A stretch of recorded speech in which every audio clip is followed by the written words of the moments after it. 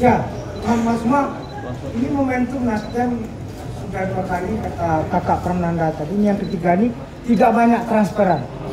Jadi ini sudah mulai solid mengental secara komposisi ya tidak lebih dari 10 orang yang pindah ke Partai Nasdem.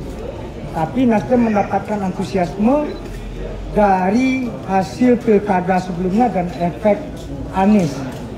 Jadi tentu tadi kakak Prananda mengatakan keberadaan Nasdem sudah punya capres sendiri ini yang kemudian membuat kita lebih confident dan itu ada di semua levelan. Kalau berbicara komposisi yang paling banyak di Nasdem yang pertama politisi, yang kedua mantan birokrat karena profesional, yang ketiga peneliti dan intelektual.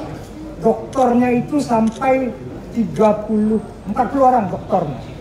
Ada profesor dua orang, dokternya sampai 50 orang. Ini yang kemudian Nasdem bersiap untuk kematangan proses legislasi dan perwakilan di DPR benar-benar menjadi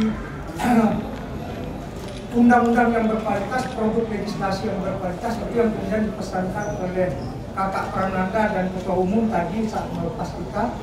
Jadi prosesnya lebih banyak proses kualitatif. Jadi Nasdem sudah menjadi apa ya? Jadi Barcelona lah sudah tidak Paris Saint Germain lagi. Sudah tidak Manchester City lagi tapi sudah Barcelona ini. Lamasianya udah matang. Itu.